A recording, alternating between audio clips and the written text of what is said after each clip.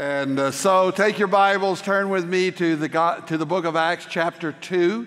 I started to say the gospel. Really, the Acts is like a gospel in that it is a continuation of the gospels of Christ, what happened when the church was born, the body of Christ on earth, living out the call, the command, the commission, the charge of our Lord Jesus Christ. The, the title of this message from Acts 2 is Count Me In. Count Me In. Now, today uh, we hear a lot about metrics and analytics and counting in certainly the business world. Uh, if you have a business, you're probably into metrics and data and analytics because if you're not counting it, you're probably going out of business. Uh, in the sports world, uh, you hear a lot about metrics, tendencies of the opposing team, the way you hit, the way the plays are run, tendencies of those teams. So today is, is, is certainly the feel of coaching a game and, and, and, and, and coaching a team, but there's also the metric side, that, that scientific side, if you will, and, and counting. So it's important. Uh, it, it's a political season, and both parties, Republicans and Democrat, I assure you, are looking at the data across the United States. And when it comes time to vote, and every person should vote, uh, then the count is going to go in. It's very important. Numbers count. And what is true in the sports world, business world, political world is certainly true in the church, the New Testament church. What we have in Acts chapter 2 is a demonstration of the church being the church for every generation. It is a snapshot of who we are and what we are about. And certainly, counting and counting everyone all in. We uh, are interested not just in counting numbers, however, we are interested in making numbers count. Because it's never about the crowd, but it's always about the one, the one someone, the one everyone who needs Jesus. You need Christ in your life. So, in the midst of a big crowd, you need to know that you are important to God enough that Jesus died for you, He rose again, and because God loves you, God's church loves you, every one. And though it is not about the crowd, it is always about the one. It is not about the only one, not just one, because there's always one more. Amen? there's always one more someone to reach with the message and the hope that is ours in the Lord Jesus Christ. Amen. So God has blessed this congregation over its years of ministry, and we are now a big church, a very big church. Now, I know some people dislike big churches and say, well, big churches are impersonal, big churches are institutional, and on and on. I truly beg to differ by simply saying there is a reason a church is big. And the reason is the big heartedness, the generous heart of the people of God.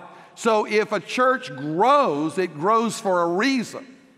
And we should never limit the growth that God wants to give to His church because everyone needs Jesus, and God is not willing that any would perish, but that all should come to repentance, faith in Christ. So, who are we to say enough is enough?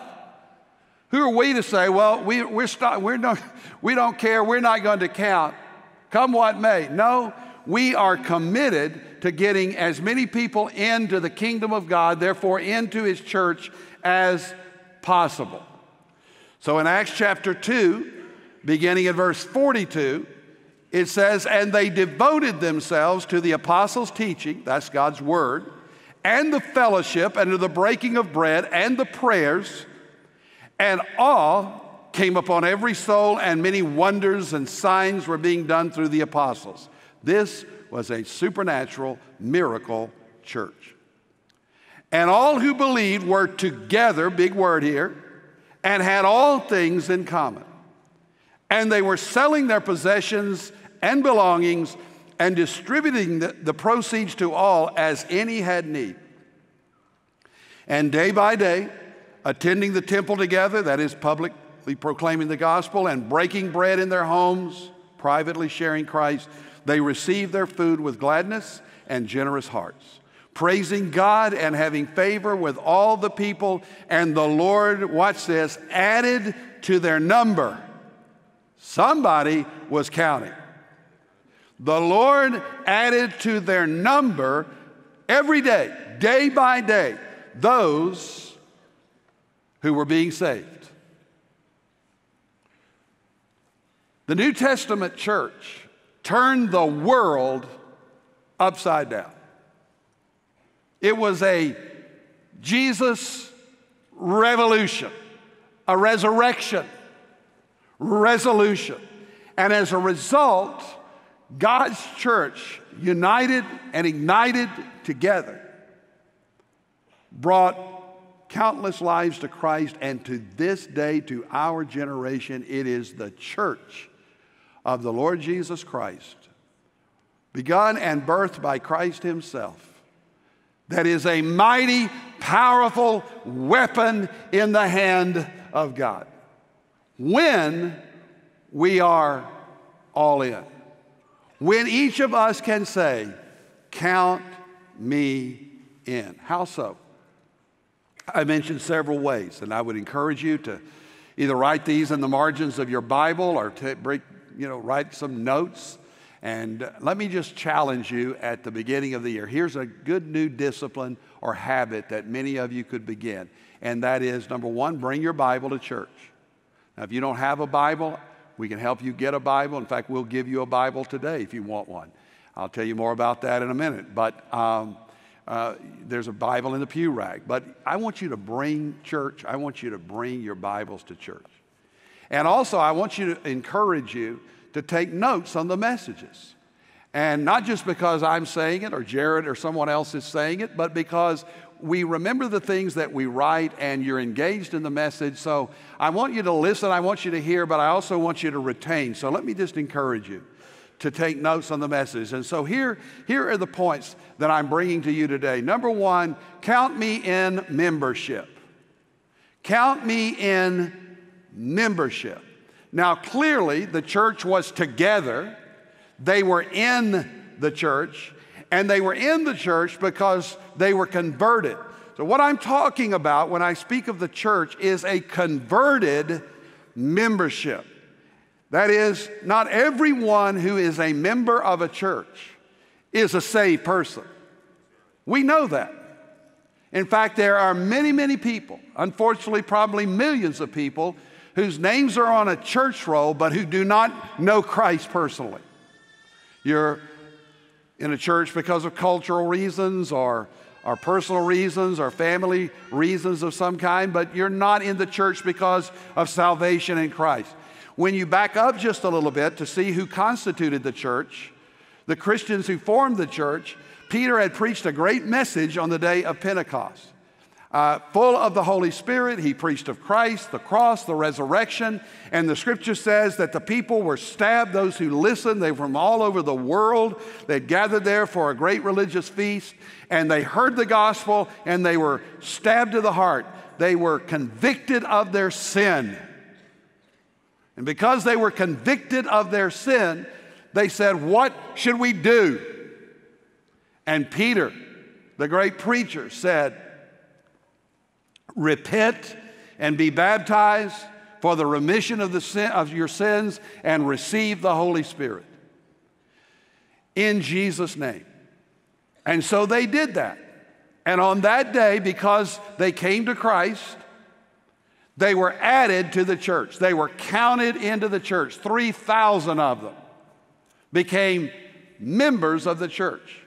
Now, when you are born again, you are and then a member of the family of God, and therefore the church. The church is the body of Christ, the church is like a family. It's not so much an organization, of course, that you join, but a family that you share. It is a life that you share with other believers, brothers and sisters in Christ.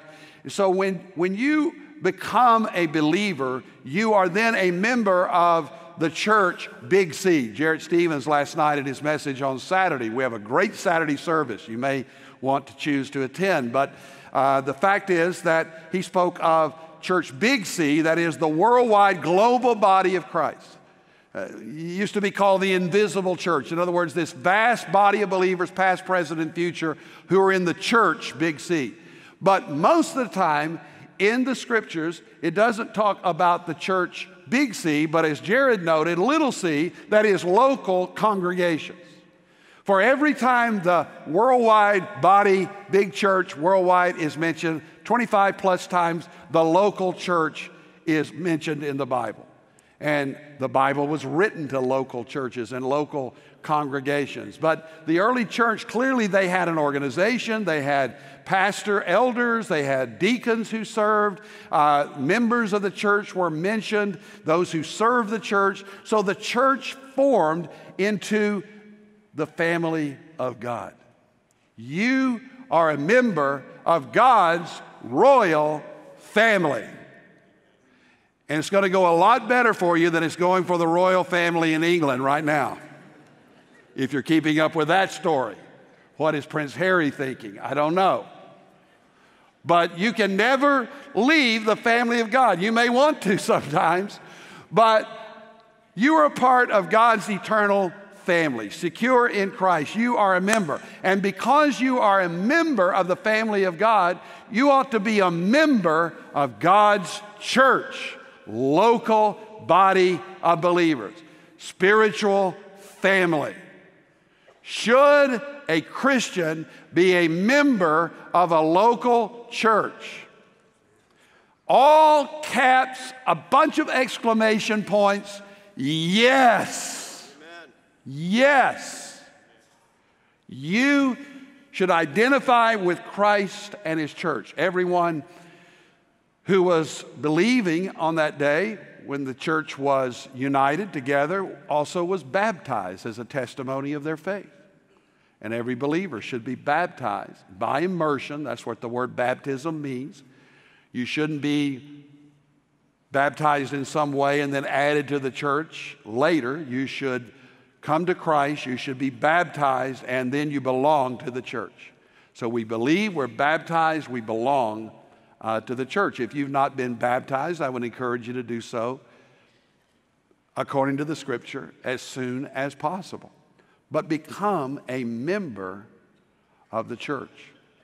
A converted membership and a committed membership. We're not looking here at Prestonwood for mere joiners, like you would join a club or an organization, but committed Christians, followers of the Lord Jesus Christ, who are saying, Count me in membership. Count me in as a part of this local New Testament congregation. Not on the fringes, not floating here and there, not just being a religious consumer or absorbing religious uh, uh, content online, but no, a member, active, passionate about God's church, about your church. Count me in membership. Not casual. We take seriously membership in the church, and so should you. It is accountability, it is activity, and much, much more. Do not forsake, the scripture says, the assembling of yourselves together. Be, gather, in God's church. Secondly, count me in discipleship. Count me in discipleship. At that little frame, that paragraph, when it talks about the church in Acts 2, it says, and they continued, or they were loyal, they were devoted to the apostles' doctrine. Now, the apostles were teaching the Word of God. They didn't have Bibles like we have them today. Scripture was written on parchments and there were very few copies.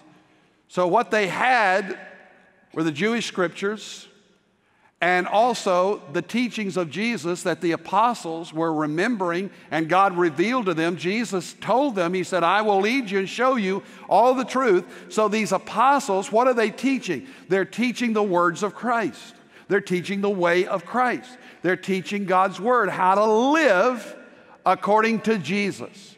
And these believers, therefore, were learning the Word of God. That's a big part of church.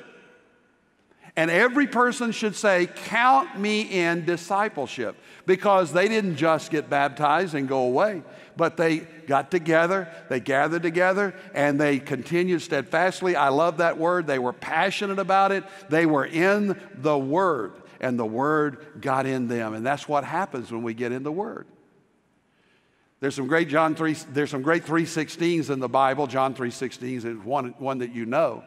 But here's another one, Colossians 3:16, where it says, "Let the word of God dwell in you richly." And it goes on to say teaching and admonishing and speaking together in psalms and hymns, in other words, sharing the word of God together. We are people of the book. Prestonwood it is the Word of God that forms us and frames our lives because we're not only here to be learning the Word, but living the Word. And so, what we do is teach and preach Jesus Christ and the Word of God. For the Word of God and the testimony of Jesus. And that's why we say, bring your Bibles. That's why we say, study your Bible have a daily time of devotion in which you are searching the scriptures. To get the Word of God alive in you. May I say something very clearly? The Bible is God's inerrant, infallible Word. All scripture is given by inspiration of God, is profitable for doctrine, for reproof, for correction, and instruction in righteousness. This book is the living, eternal Word of God. And as long as this church exists, by God's grace and to His glory, we will be preaching and teaching the Word of God. This is our message. You don't have to wonder, you don't have to worry when you come to this church whether you're not, you're going to hear the Word or not, because we're going to get the Word of God in our lives. We, we're going to continue in this. We're going to keep going and growing in the Word of God. We have, therefore, not only preaching services that are built around teaching Scripture, the messages. We're going to be begin a series in February on from the book of Ephesians. Great, one of my favorite New Testament letters and books. We're going to call it More because it's all about the much more that God has provided for us in Christ, our identity. So we'll be teaching through Ephesians, and that's the way we preach and teach here. But beyond this pulpit uh, and beyond uh, what happens in here and in the big room, all these other rooms here we have designated and dedicated to teaching the Word of God in our Bible fellowship classes, whether it is children, and we're teaching the smallest children God's Word, our students who are in student ministry right now. A couple of years ago, we made the decision we're going to take our students from this room, this worship service, and they're going to have a worship service, a venue. We miss them. We bring them in as often as we can, but our students right now are under the sound and teaching of God's Word under our student leadership. Uh, but my point is for the adults, the Adult Bible Fellowship Ministry. This is our teaching ministry. For you old schoolers, that's Sunday school. But we call it Adult Bible Fellowship. And every member of our church should be a faithful, active member in a small group, an adult Bible fellowship class. How many of you are active in an adult Bible fellowship class? Can I see your hands? Hold them up. All right? Thank you very much. God bless you. And to those of you who did not lift your hands, shame on you. Seriously. We should all have a hunger, not for less, but for more of the Word of God.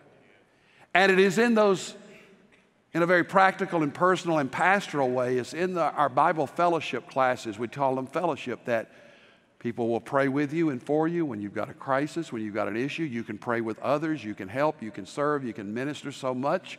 I would dare say most of the service that rolls out of Prestonwood comes through our Bible fellowship classes. This is our, uh, this is our infrastructure, if you will, and, and it's out of our classes. And so you need to be in Bible fellowship. And I'm just challenging you to find a class. You can go to Guest Central, you can go to information desk, and we'll tell you about the classes. And I'm just telling you, it will bless your life and you will bless the lives of others when you are fully engaged. So I'm saying, count me in discipleship. We have many tools for discipleship, ministries, and all the rest, but the core, the key, are those Bible fellowship classes. They don't all meet on Sunday, some meet at other hours during the week. So that's an option as well. So, number one, count me in membership, count me in discipleship. Thirdly, count me in fellowship. Mentions the word chapter 2 here in fellowship. It says in verse uh, 44 they, were, they who believed were together and had all things in common, and they were selling their possessions and belongings and distributing to anyone who had needs. You see this ministry that's taking place. They were praising God and having favor with all the people. In other words, they, in verse 2, also 42, also mentions the teaching and the fellowship to the breaking of bread. That reference is most likely uh, the Lord's Supper, the breaking of bread. It could mean just the breaking of bread, the house and house, the fellowship meals. Uh, either way, it works, doesn't it? We have the Lord's Supper together, remembering as Jesus commanded us our, our Lord's death and, and his promise to us of redemption. We do that regularly in our worship services, and we do it each month at our first Wednesday service, which is a church service. It's a body life service. say, when is first Wednesday service? It's the first Wednesday of every month. And, and, and we gather, and, and, and most every time we share the Lord's Supper together. So we should have this attitude I can't wait to get more. I can't wait to get more church, not not less, not less time with God's people and with the fellowship of His people. You know, we have designed even our buildings to be a conduit for community, contact for community. And the small groups, the Bible fellowships that I mentioned, it takes a, you know, the thing that we work at at a big church all the time is making it smaller. I mean, the the big, the big numbers are great, but in, in great groups, and we gather, it's a movement. We love that, but also to break it down so that we know one another. As Jeff Young told me before this service, in our Bible fellowship, Jeff heads all discipleship and small groups at Prestonwood. It's a huge job. Pray for him and his staff and his team. But he was telling me we don't want anyone in our church to stand alone. And I've watched so many times if people have gone through illness or sickness or death. I just saw it this week. The prayers of God's people at a funeral and the support of God's people when, when that crisis hits or that death comes to the family or all those things that happen us when a child runs away. All those things, if you're in a group, you know, you have the opportunity to share, to be transparent, to work on your own life. So much that I could say, but it's fellowship. It's being with God's people. It's being together. You know, a team wins together. When they're not together, they lose. You know, you win together or you lose separately. I can tell you who's going to win the national championship tomorrow night. I can tell you who's going to win the Super Bowl here in a couple of weeks. You know who it is? the team that plays together. Because the team that doesn't, even one, if one person is not carrying out their assignment on the field, you lose. And many churches are losing today because they are not together. There is so much division in God's church among God's people today. And we need to get together as God's church. And I so appreciate the unity, even with the midst of great diversity in our community and our church community. It is our unity, it is our togetherness that makes us triumphant. And one of the great blessings of being your pastor all these years is to see that unity, that sweet spirit of love that keeps us together and triumphant for the gospel of Jesus Christ. That's fellowship. You know, somebody said fellowship is two fellows on the same ship. But what it really means is we, have, we share life together, we share love together, we share labor together. You want to you, you want to know what real fellowship is? It's not just hanging out and drinking coffee together. But real, that you can have fellowship in that. But real fellowship is when you get with a band of believers and you start sharing your faith, you start serving others with another group of people. And whether it's setting up chairs or working in a parking lot or working in the child children's ministry, or you name it, all these 45 or 50 different kinds of designated ministries we have, you get with a group, you get in the choir and, and, and worship and sing together. That's, that's like revival uh, uh every week when they rehearse. I'm telling you, fellowship is sharing a common life, a common load, a common love. And when we do that, when the fellowship of God's people, it's a sweet, sweet spirit in this place. Amen. So count me in membership. Can you say that? Count me in discipleship. I am knowing and growing in the Word of God. I want to be in the church. If you're in a church, you ought to attend it, you ought to defend it, and you ought to extend it. And there's one final thing count me in stewardship. Stewardship. When you read the scripture here, it says, Did you get that part of the passage when it says they sold all their possessions? And they met the needs of one another in the congregation. I've heard some people look at that and say, see, that's socialism, that's communism. No, it isn't. First of all, it's church centered, not government centered. Number two, it was voluntary, not coerced. And number three, it's all about Jesus, not all about somebody else. So this isn't common. This is the church in a, and it was temporary. That's the other thing. They didn't do this the rest of the life of the church on earth. It was, there was a time, but the point is, they, they, they recognize this one fact everything we have belongs to Jesus. All we have belongs to God. So they just gave it. And they pooled their resources to minister to one another and to advance the mission of Christ in their community. So, God, that's stewardship. I, I love the phrase here when it says they had favor and they had, verse 46 right at the end of it, generous hearts. Generous hearts. I am so grateful for the generosity of this church over the years and the people. When I say church, that means you, the people. So many, many, many of you have been so very generous. I mean, you look around these buildings, um, bought and paid for in full because of the grace of God, the goodness of God, and the people of God who sacrificed. People who, before many of you were here, gave and gave and gave some more. You know that. These this great church, these facilities just didn't pop up without the sacrifice and the generosity of people. Our North Campus say the same, Espanol. And then the millions and millions and millions and millions of dollars that we have invested in the mission of Christ here and around the world, people's lives. Thank you for being generous to that and for that.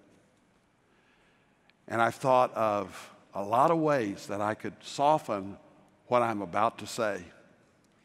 So I'm going to say it as quietly as I can. But many, many, many are not generous. I don't know any, any other way to put it. Do you have a generous heart? Are you giving, beginning with your tithes? That's our only financial program, it's our plan. Is just to obey God by bringing the first tenth of your income and give beyond the tithe. The tithe is it's the, it's the floor, not the ceiling of Christian stewardship. It's the starting place, it's kindergarten. Paul said, Grow and excel in this grace also. So, as your pastor, because I love you, I'm counseling you to be a generous giver because that's the heart of God. And to say, Lord, everything I have belongs to you, and as you lead me according to your word and by your spirit, I will give with a generous heart.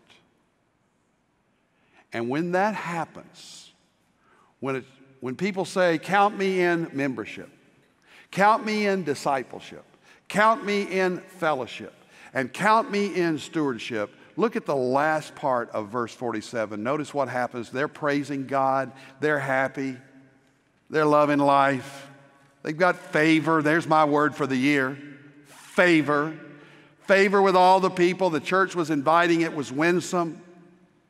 Everyone was welcomed in. And can I say that this church welcomes everyone? God is bringing the world to us what has divided the church in so many ways across political lines, across denominational lines, across uh, racial lines, across socioeconomic lines. May God tear down every single wall that separates the people of God from one another. And may God unite us and may everyone know you are welcome in the family of God. May God give us favor with the people in our community. And you know, God sent us some wonderful people. Our Prestonwood Espanol is, you know, 19 or 20 nations are represented. Our Persian ministry, the Iranian uh, ministry in our church, it's a great class. And I was just speaking, Mike Buster actually was speaking to them, was telling me, uh, because I wanted to know. I said, How are our Persian Christians here at Prestonwood doing in view of the, uh, of the, of the assassination, the killing of, uh, of the terrorist over there? And thank God for our military and a president that will stand up against the terrorists of the world. that guy had to go. He's a bad guy. But I ask, I ask, uh, I ask uh, the Persian Christians, I say, How are you doing? I mean, how do you feel about all this? And number one, they were just saying, We are so glad that guy's gone. He's terrorized our people. Did you know that more Persian, they're Persian, Iranian, Iranians are coming to Christ in the last 20 years than the previous 2,000 years uh, in Iran and in the, in the Middle East?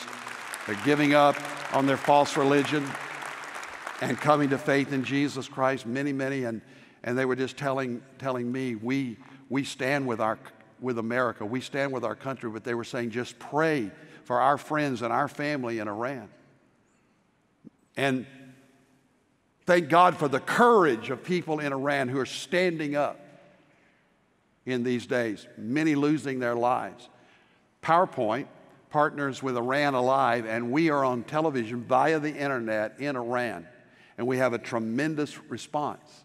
And again, that's just something you may not know, but when you're giving, you're giving to support the gospel going behind the curtain there in Iran and sharing the gospel of Jesus Christ. It's amazing the opportunities we have. Some watching online around the world right now. It's truly incredible. So, our goal is to reach our community and beyond with the gospel. And what was happening here, the Lord added to their number day by day those who were being saved. Every single day, people were coming. It was everyday evangelism. And you know, we see that actually here. We see people coming to Jesus every single day. To God be the glory. But we've been talking about counting, and I'm wrapping up. But let's do some counting on the local church because I told you they counted numbers. And the church was exploding. You ought to be a part of a growing church. Not every church is growing. I know some churches are in areas that are non growth areas and had the same people in town for the last 100 years and all that. But if you're in a community where there are people to be reached, be in a growing church, wherever God leads you, because we want to be a part of a Jesus revolution, a dynamic, passionate church. So let's do some counting. I mean, you can start with just the 11 disciples. You know, they lost one with Judas, replaced him with Matthias in the book of Acts. So there were 11 standing on the mountain, Mount Olivet, uh, outside of Jerusalem. I've stood there many times. We'll be standing there again in just a few months with our trip, where Jesus ascended and gave them the Great Commission. And, and there were 11. And then in Acts 1.15, look at what Acts 1.15, it's on the screen. There were 120 of them in an upper room. So the church is burst on the day of Pentecost. There's 120. Peter preaches this dynamic message. And then in Acts 2:41 it says 3,000 were converted. Again, somebody counted them. Somebody cared enough to say, oh, man, well, we had a lot of people saved. No, one, two, three, four, five, six. They counted 3,000. That's a pretty good first sermon for Simon Peter, wouldn't you say? And then in 247, as we just noted, in the days and weeks that followed, people were coming to Christ every single day. And then in chapter 4, verse 4, it tells us that they had another outdoor service and 5,000 men were converted to Christ. It's noteworthy that the men were numbered. So when you add in, you assume that the wives and children were there, and many of them. So most Bible scholars, I mean, just, just add it up in your head, you can guesstimate this one, but if there were 5,000 men, let's say there were another 10,000 wives, women, and children, and grandparents and grandma, you know, they all come to Christ. So now you've got what? 15, 20, 25,000 people in the first week or two of the church. It's exploding. And then in, in, in Acts chapter 5, verse 28, look at that one, Acts chapter 5 and verse 28, they were being accused, the apostles, of preaching the gospel. They said, We told you not to teach in the name of Jesus. And yet, what happened? Acts 5:28, you have filled Jerusalem with your teaching and intend to bring this man Jesus' blood upon us. Now the whole city is saturated with the message of Jesus. Everyone's hearing about Jesus. You couldn't go anywhere without the name of Jesus being, being preached. And these adversaries said, You fill this city with the teaching of Jesus Christ. Amen. That's what I'm challenging us to do. To fill our city, to fill our communities to take the gospel first to Jerusalem, to take the gospel home, to bring the gospel home. It starts here, it starts now, and then to the ends of the earth. But there's more. Acts 6 7. And the word of God continued to increase, and the number of the disciples multiplied First, it was adding. The Lord added to the church daily. Now, the disciples multiplied greatly in Jerusalem, and even a great many of the priests became obedient to the faith. B.H. Carroll, important name in Christian history, Baylor University initially, and, and then the founder of Southwestern Seminary in Fort Worth, great Bible scholar from the 19th century, estimated that in the first six months of the church, there were over 65, 70,000 new believers and members of that church. Others, like Campbell Morgan, a great Bible teacher, suggest even more, upwards to 100, maybe even more. The point is, thousands and thousands and thousands of people were coming to faith in Jesus Christ. No wonder they said the church has turned the world upside down.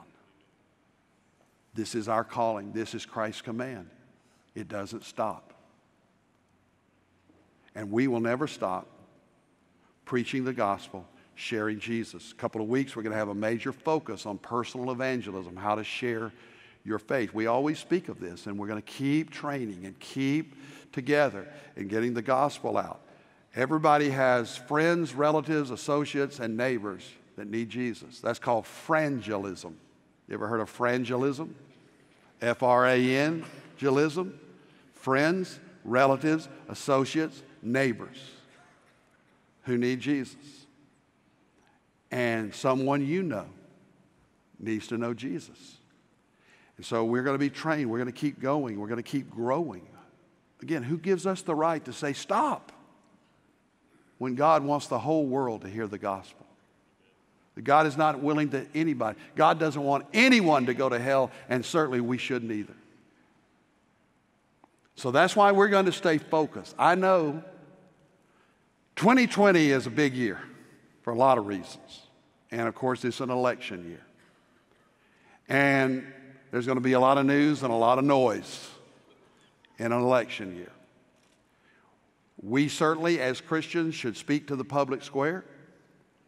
In fact, we have one of our ministry teams that is cultural impact. We talk about the issues pro life, pro marriage, the cultural issues, beyond justice as well, and prison reform. We've talked about a lot of things as Christians over the last several years. And you ought to vote. And you ought to vote your values, vote your Bible. We never tell anybody how to vote here. We just simply say, vote the principles of the Bible. People know how to vote if they'll pay attention to God's Word. And, but not only national election, but the local elections and our state elections, these are all very, very important. And you need to vote. You know, 25 million evangelical Christians didn't vote in the last election. That's sad. Um, really sad because somebody spilled blood for your right to vote. To just get yourself to the polls and vote your conscience, vote your convictions, vote your candidates. So, yes, we're going to encourage that. We're going to get out the vote. But let me assure you of one thing, as always, Prestonwood. We're not going to get caught up in all the chaos. Because, as my friend Sammy Rodriguez tells us, it's not the agenda of the donkey or the lamb. We're on the, or the donkey or the elephant. It's the agenda of the lamb, the Lord Jesus Christ. And we're going to stay laser beam focused on doing what the church has called us to do, and that's preach the gospel and bring people to Jesus Christ. Because that's the only thing ultimately that's going to save any country, including America the answer for America is not a political answer, it is a spiritual awakening. And that starts in the church of the Lord Jesus Christ. When God's people say, Count me in, count me in. So, would you bow your heads with me in prayer? Every head bowed. I just want to pray for you as your pastor. Would you pray right now? Lord, count me in. In membership, in discipleship, growing in my faith, in the fellowship of being a friend and being family in your church. Count me in, Lord, in stewardship, that I would be a faithful, generous giver. Count me in in bringing others to you. Pray like this Lord, I don't want to be a religious consumer. Lord, I want to be your servant. I want to say, Here am I, Lord, send me. I want to be a part of the church. I want to go and grow with my church. Lord, show me how and where I can serve. Would you pray that? Lord, show me how and where I can serve. And then let me ask you on a personal note would you pray for your pastor? Would you pray for me? Would you pray for Jarrett, our teaching pastor? Would you pray for our preaching team, our pastoral team, our North Campus pastor, Connor Bales, Prestonwood Espanol, Gilberto Cardera? Pray for those of us who preach, Neil, so many others. But pray for us. Pray that we would be pure in heart. Pray that we would be committed to you, Lord God. May it be true. I need you. We need you, church, to pray for us.